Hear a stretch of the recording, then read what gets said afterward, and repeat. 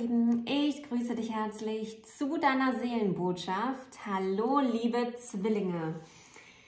Ja, willkommen zu der Monatslegung. Der Oktober ist da und wir schauen mal, was auf die Zwillinge zukommt. Also, wenn du im Sonnenzeichen, Mondzeichen oder im Aszendenten Zwilling bist, dann könnte das für dich hier interessant sein. Es ist eine kollektive Kartenlegung, also bitte, es ist immer noch wichtig, dass du alles auf deine Situation umlegst. Und ich möchte mich zu Beginn noch einmal von Herzen bedanken an alle für alle Likes, alle Abos, die Kommentare. Das motiviert mich weiterzumachen. Vielen, vielen lieben Dank. Ich verbinde mich nun mit den Zwillingen. Ich verbinde mich mit dem Kollektiv, mit den Zwillingen in Sonnenzeichen, Mondzeichen oder Aszendenten und mit dem Monat Oktober. Was kommt auf die Zwillinge zu? Was zeigt sich und worum geht es? Und ich werde das keltische Kreuz legen, mischen, auslegen. Wenn du das überspringen möchtest, dann hast du unten den Timeslot und gelangst direkt zu Leben.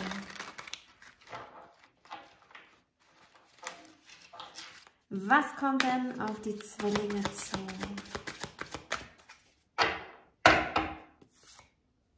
Jetzt habe ich schon runtergeguckt. Ich wollte es gerade umdrehen und dachte mir so, nein, das machst du nicht. Wir legen es doch verdeckt auf. So.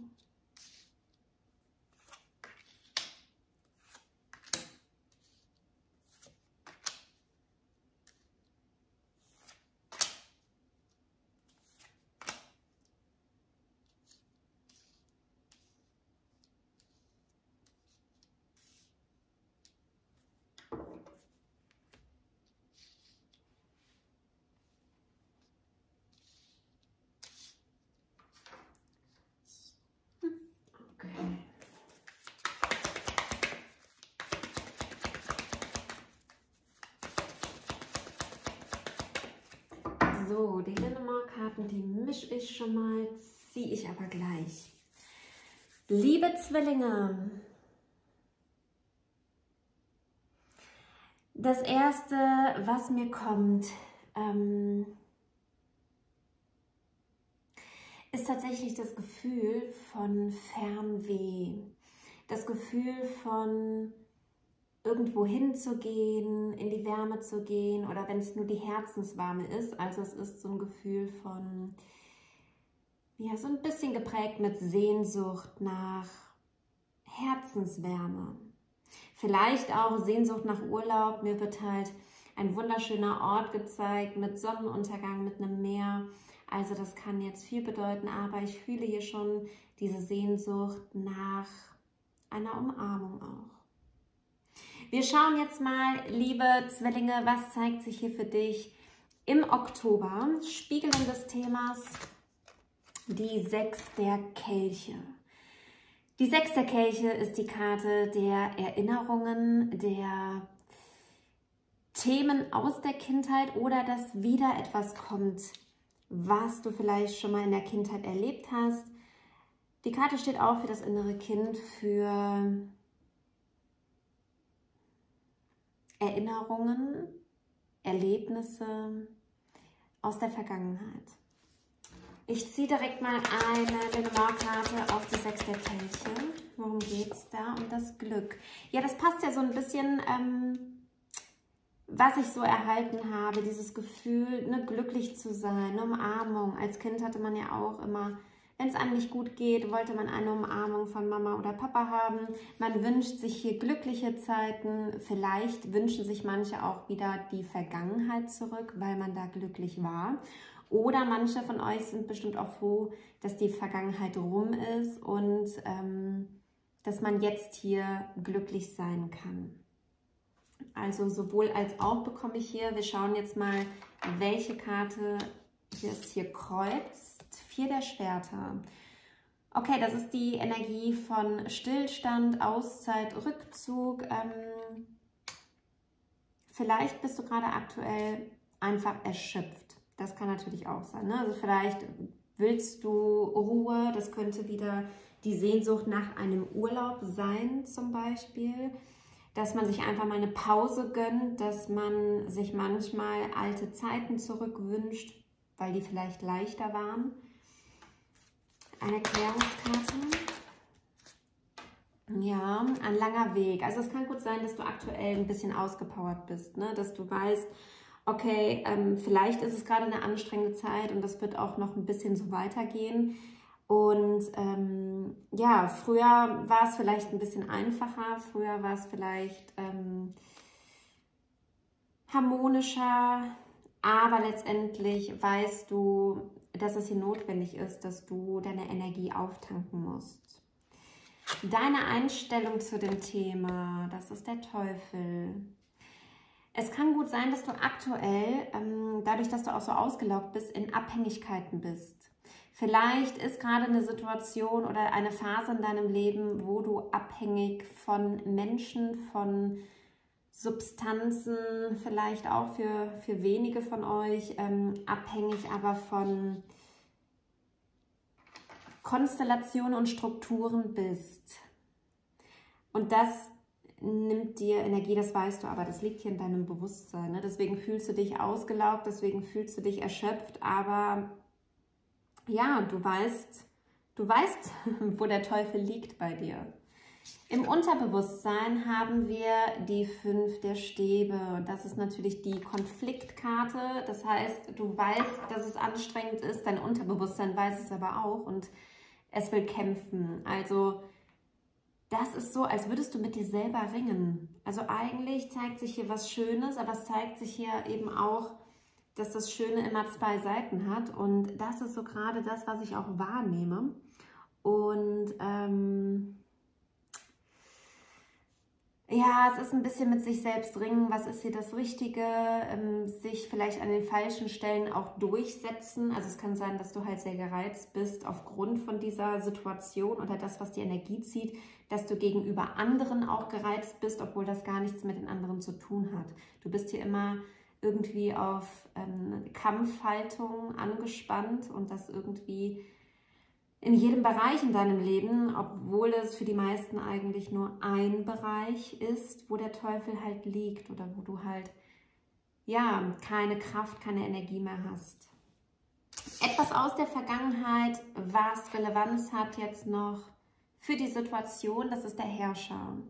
Und da bekomme ich gerade so rein, ähm, eigentlich magst du es sehr strukturiert. Du magst, wenn alles geregelt ist. Du bist jemand, der hat gerne den Überblick vielleicht sogar. Ich meine, du bist ein Luftzeichen, du bist der Zwilling. Ähm, das passt schon ganz gut, aber es kann hier halt auch sein, ähm, dadurch, dass du dir selber nicht mehr und anderen auch nicht mehr gerecht wirst, weil hier eine Situation ist, die sehr anstrengend für dich ist, ähm, dass du dir innerlich halt selbst diesen Druck machst, in diese Herrscherenergie zu kommen, obwohl du einfach eigentlich eine Auszeit brauchst. Ne? Also du brauchst hier wirklich eine Erholung, eine Pause oder wirklich das Loslösen von, von dem Teufel.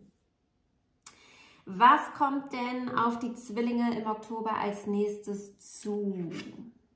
Das ist schön. Zwei der Kelche.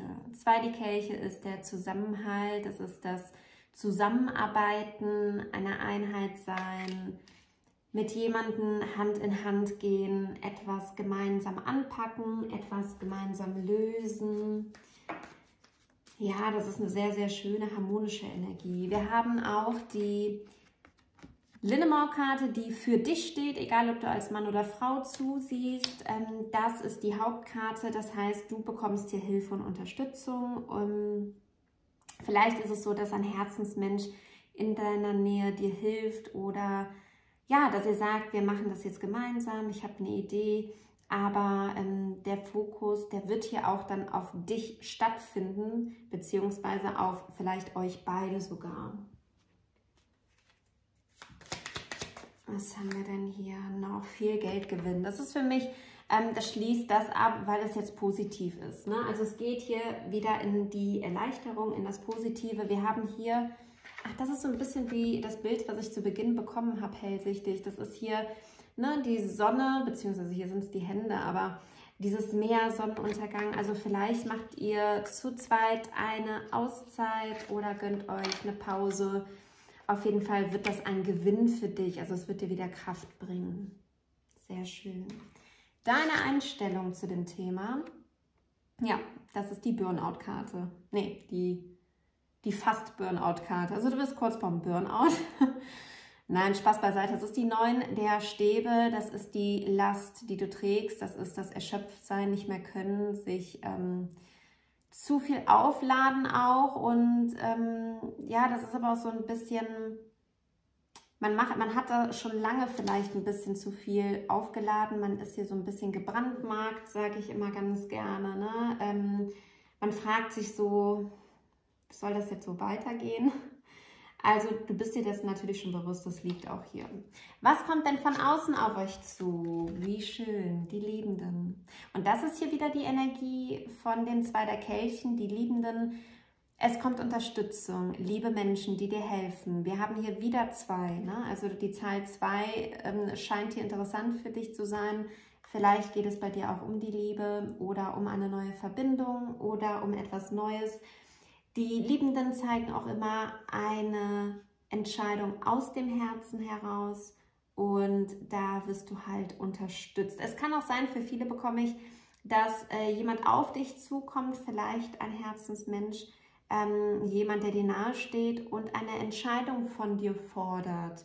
Und dann wirst du dich auch entscheiden. Ne? Das äh, bekomme ich aber liebevoll. Es kann sein, dass jemand auf dich zukommt und sagt, mir ist aufgefallen, ähm, ich habe das Gefühl, du bist dir sehr überlastet.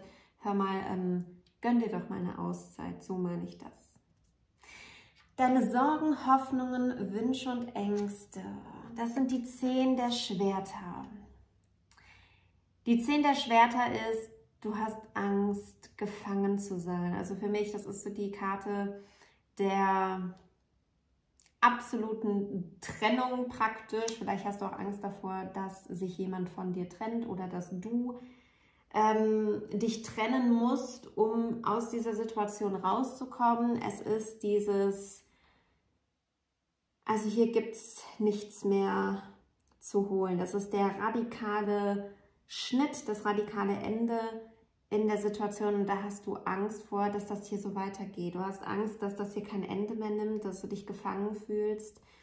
Und das ist so deine Sorge. Also du wünschst dir ja wirklich hier ne, das Harmonische, die Liebe, die, die Sehnsucht auch nach Wärme. Ja, liebe Zwillinge, wir schauen jetzt mal, was ist das Ergebnis der Legung für euch im Oktober? Wow. Zehn der Münzen. Reichtum. Mehr Münzen gibt es hier nicht. Die 10 der Münzen, das ist, ähm, in diesem Fall bekomme ich das wie ein, ein Geschenk. Also es wird sich hier verbessern, es wird sich hier vermehren. Natürlich können diese 10 der Münzen auch immer auf die wirklichen Münzen, Finanzen hindeuten, aber in dem Fall, dadurch, dass wir hier keine weitere Münzkarte haben, deute ich das eher darauf, dass du wieder in deine Stabilität kommst. Dafür stehen die Münzen auch dass du auch wieder ähm, in deinen Selbstwert kommst und hier wieder statt Münzen eigentlich Energie auftankst. Also für, ich sehe da gerade wie so ein Akku, was wieder geladen wird. Das, das, ähm, ja, das ist sehr, sehr schön. Ich hätte gerne hier noch eine Karte dazu. Ja, das meine ich. Wunderschön. Dein Herz. Ne? Also es geht genau in die Richtung, wo du hin willst. Es geht in diese Liebe, es geht in die Herzenswärme. Es geht auch, dass du es fühlst, ne? dass du die Verbindungen fühlst und dass du aus dieser Situation wieder rausgehst. Magie der Nacht haben wir hier noch als Gefühlskarte, ähm, die ich immer ganz gerne nutze, die Karten für, für die Gefühle zu repräsentieren. Und da kann es sein, ja, dass du dich halt auch magisch fühlst, weil du halt wirklich aus der Energie rauskommst, vielleicht durch ein Ereignis, ne, durch Hilfe, durch einen anderen Menschen und dass sich das einfach wandelt, dass sich das auf einmal, das, was du dir die ganze Zeit wünschst, dass diese Energie hier sich transformiert, dass das auch äh, kommen wird. Und es kann gut sein, dass das etwas Magisches hat oder dass es in der Nacht passiert oder dass du etwas träumst, wie auch immer. Aber sehr, sehr, äh, ja, also super Ergebnis der Legung. Ne? Es geht in den innerlichen Herzensreichtum rein. Wir schauen mal, was hier am unteren Kartenrand liegt. Welche Energie begleitet dich hier im Oktober? Das sind die Acht der Stäbe. Acht der Stäbe zählt auch immer für Neuigkeiten, ähm, für viel, viele Nachrichten, viel Kommunikation, viel Austausch. Ähm, natürlich auch viel, was auf dich zukommt. Das liegt ja auch hier. Ne? Du trägst ja hier auch eine gewisse Last.